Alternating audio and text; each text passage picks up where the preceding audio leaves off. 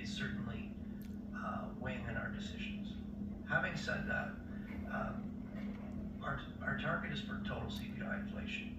And if you look beyond shelter, uh, we are seeing that underlying inflationary pressures persist. And one way to look at that is if you if you look at our measures of our preferred measures of core, CPI trim, CPI median, uh, those exclude the things that are going up the most and the things that are going down the most. So most of the shelter are in the things that are going up the most. So they're excluded from those uh, core measures.